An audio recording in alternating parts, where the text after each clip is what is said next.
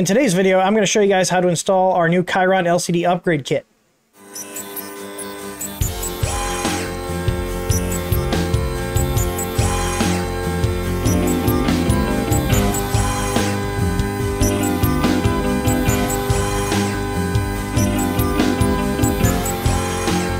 So the first thing we're going to do is go ahead and unplug the printer and turn off the power switch. So next we're going to do is take out these two bolts here and we're going to save these and the T-nuts for the new screen mount. And then take out these four screws here that hold this back panel in so we can disconnect this cable from the stock LCD.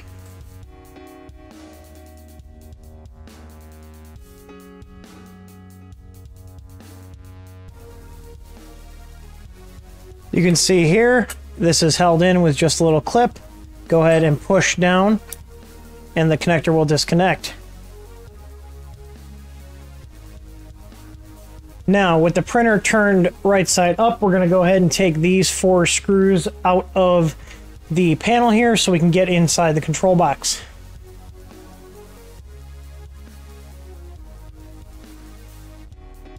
Now that we have the control box panel removed, we're going to go ahead and disconnect the cables going to the breakout board.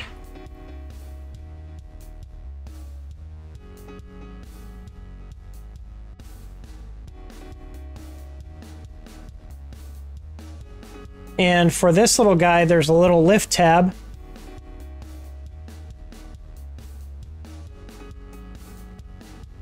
And that will release the cable. We're going to go ahead and unplug this from the PCB. You will have to take the two screws off on the back side here that holds this fan mount in place.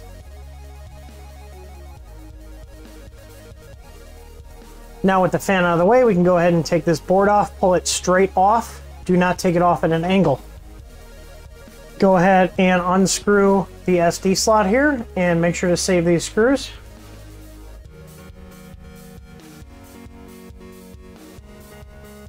Take two of the M3 screws that we took off the SD slot, and we're going to use those to install the cover for the SD slot.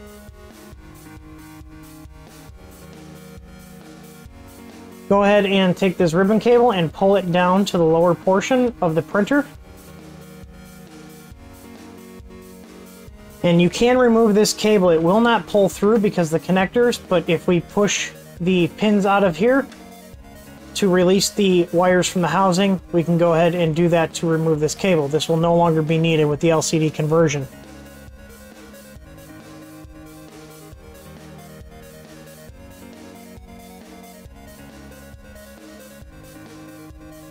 Now that we have the connector off the end, we can go ahead and pull this through. Now we're going to take the PCB housing. We're going to put the PCB into the housing. The beeper lines up with this cutout here. And you want to make sure that the headers line up with the holes in the actual housing here. And it should fit just like that. If we look in there, you can see that the pin headers line up with the holes in the bottom. Go ahead and put this on top. Make sure that the little retaining clips here are pushed in before you put the top on. And we're going to slide it over just like this. And there's our PCB in the housing. So this housing will get mounted down here with the two included screws and washers through the vent hole. But before we put it down here, we're going to connect the jumpers to the holes here and then connect those up to the main board to make the connections. Now I'll go ahead and put a diagram on screen showing which one of these goes to what pin on the main board. And if you want, you can go ahead and pause the video so you can see where they go.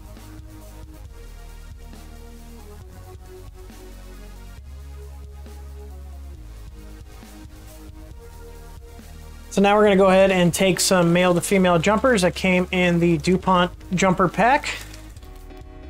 And we want the ones with the male end and the female end, and you're going to need nine total. If you look here, the color changes every 10.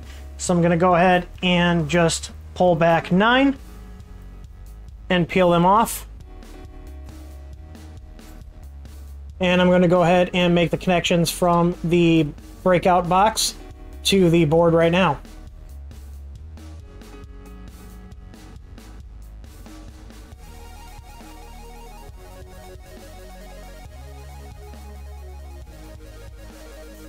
I've got the four here connected. I'm going to go ahead and get the other five connected up top.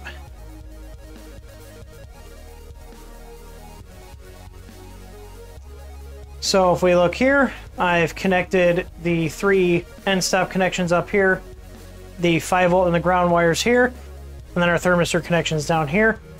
Now, if you want to make sure that these never come out, we did make this box so it does encase the connector so they can't be accidentally bumped. But if you pull straight out, they will come out. If you want to just throw a little dot of hot glue on top of these, you can. Same thing for this side. If you want to put a little dot of hot glue to keep these from moving, you can do that as well, but we're not going to do that since I don't feel it's needed. The next thing we're going to do is connect the bed thermistor plug to the breakout box, which is this two pin cable here that we just disconnected earlier. And then also plug the ribbon cable into the ribbon cable port. And this box is going to mount like this between the last two vent slots here, just like this. If this power supply is hitting the top of the case, you can loosen up this screw here and here, and that will allow you to slide the power brick up a little bit to get more clearance between this plug and the top of this box. So we're gonna go ahead and take two of the screws that came with the kit. And we're gonna go ahead and put the little washer on that we included. Just like this if you look, the washer itself is keyed to fit into the slot. So make sure you get it into the slot in the correct position. You can see here, I can move it up and down, and this bottom one will bite into this hole. Make sure this case is fully squeezed because the screw will penetrate both pieces of the case. Once you have one in, go ahead and put the second one in. Make sure not to over tighten this because you are going into the printed part. So now we have all the connections made. We're almost done with the upgrade. Now before we close all this up, we want to make sure that these cables are not going to interfere with anything. So I'd recommend taking the thermistor line and putting it right here. And then take the ribbon cable and put it above the MOSFET. You can take these ribbon cables and just snake them down like so. And before you before we put the fan back on, you got to make sure these two wires are out of the way. So kind of move them up here before you put the fan back on because otherwise this little piece here on the duct will hit them and it won't go on fully. So go ahead and put this fan back in place. You can see there, there's the two screw holes. So I'm going to go ahead on the other side and put this back on.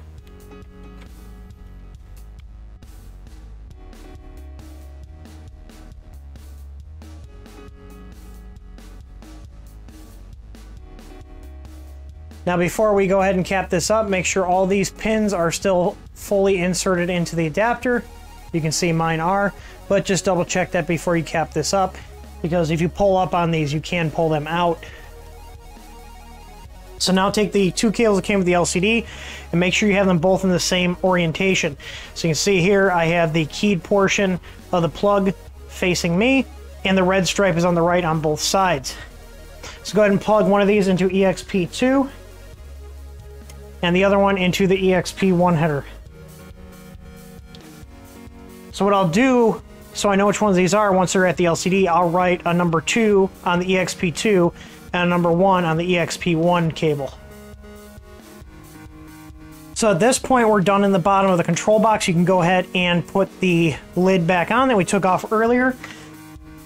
So now before we put the cover back on, go ahead and snake the cables out through the second slot here.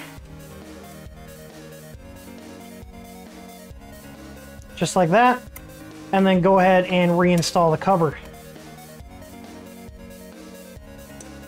Once we get the screen back on, if you have excess cables, you can go ahead and just push it back into the housing here.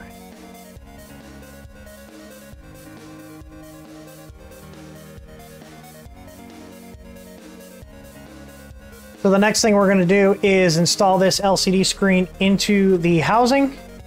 If the knob is already on the screen, go ahead and pull it off. We're going to go ahead and put the screen in, make sure the encoder knob goes through the encoder knob hole. And the screen should align itself in the housing just like this. We're to go ahead and put a screw in each corner here. Now make sure you do not over tighten the screws. If you over tighten the screws and you turn the LCD on and there's some bars missing, go ahead and back them off. So I'm going to go ahead and take four of the screws that we included with the kit and use these to secure the screen into the housing.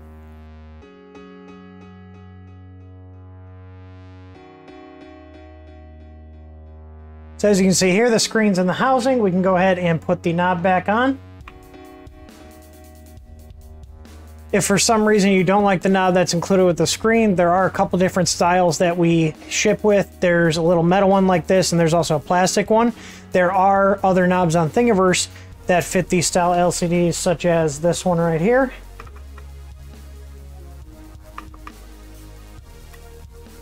And even a little Prusa style one. I think I'm going to go with this knurled one for this build. That looks nice. So the next thing we need to do is put the two screws that came off the factory mount through the holes here. And push them through. Now these holes are sized pretty well, but if there's some resistance, just go ahead and force the screw through the hole. Go ahead and affix the T-nuts to the end of the screws. Just thread them on a couple of threads so they don't fall off and you're going to want to have them in this orientation so they go into the extrusion. I found since the angle on here is steep because we matched the stock angle of the original LCD, the easiest way to secure these to the frame is to use a ball end style Allen wrench that comes with most 3D printers.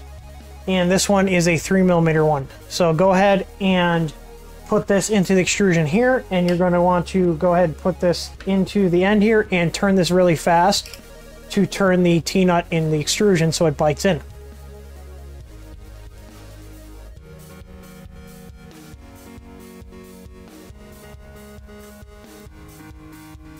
And now the screen is mounted to the printer frame. Go ahead and connect the EXP1 cable to the EXP1 header on the screen and the 2 to the EXP2 header on the screen. So EXP1 is this plug here, and EXP2 is this plug here that's closest to the SD slot. So you can see here, one, and two.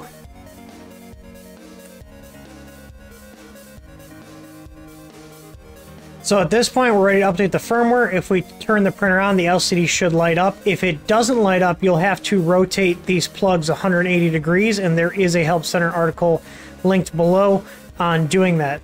This is due to cable differences and header differences between these LCDs and the printer control boards.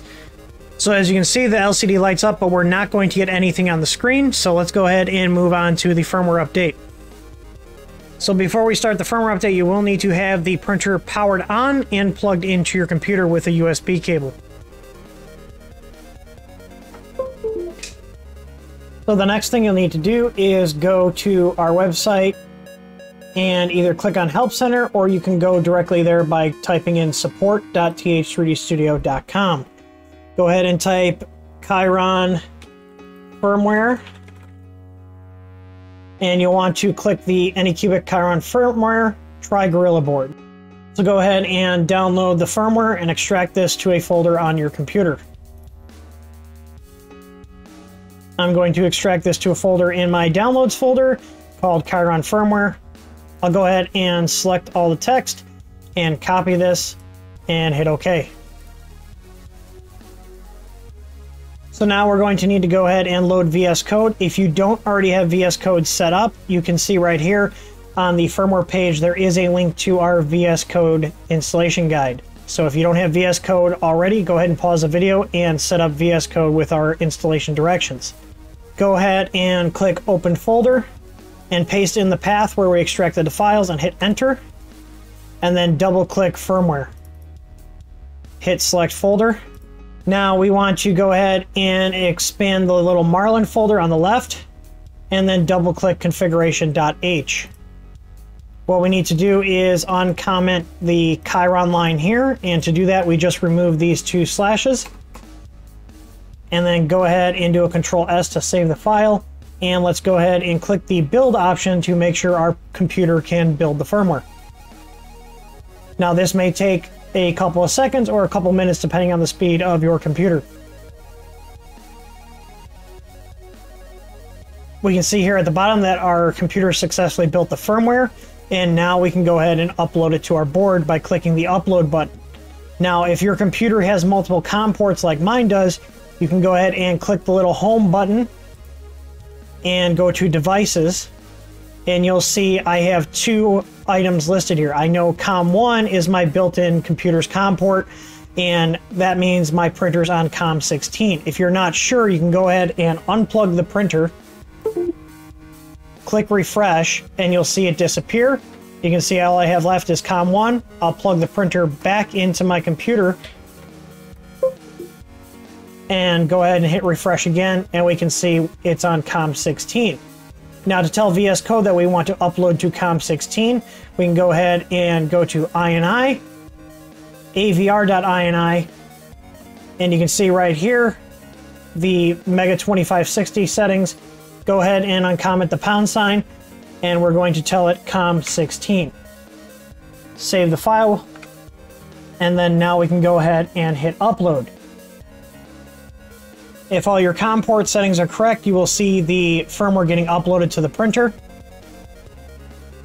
And it will do a write and then a verification to read. Now my computer is almost done verifying, and then the board will restart, and we should see the logo.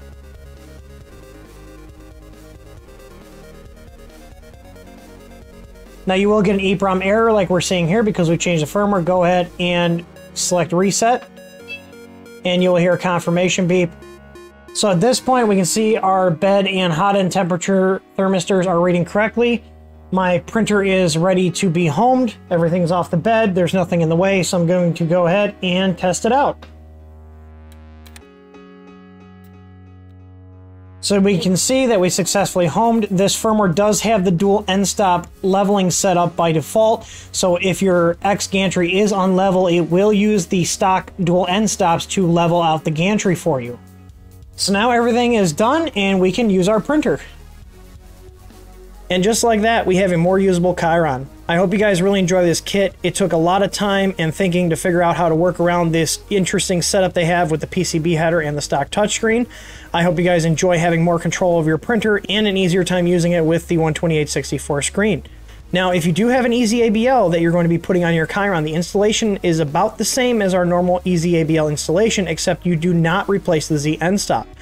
There is an additional Help Center article specific for the Chiron that guides you through wiring the EZABL control board to the Chiron stock board. You will use some of the jumper wires that came with the LCD kit to make those connections. If you have any questions or comments, go ahead and leave them below. You can also reach our technical support team by going to contactus.th3dstudio.com. And if you visit our website during business hours, we also have live chat available on our site. Hope you enjoy this upgrade, and I hope this video was clear and concise to get the kit installed on your Chiron. Thanks for watching, and as always, happy printing.